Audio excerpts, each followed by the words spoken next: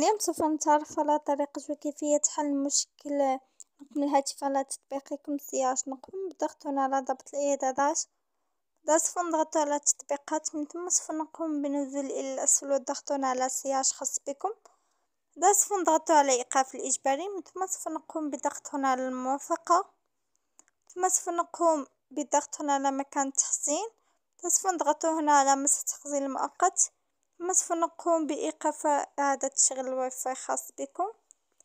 من ثم سوف نقوم بضغط هنا على متجر جوجل وهنا سوف نقوم بالبحث عن CIH خاص بكم سوف يظهر على هذا الشكل.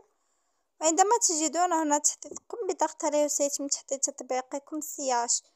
وهكذا نكون قد قمنا بحل المشكلة. نكون في فيديو آه قد قمنا بحل المشكلة ونكون في الفيديو القادم إن شاء الله.